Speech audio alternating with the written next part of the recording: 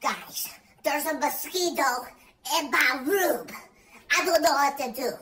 I'm gonna get it. I have hope.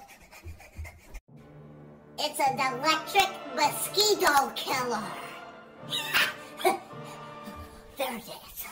I'm gonna get it.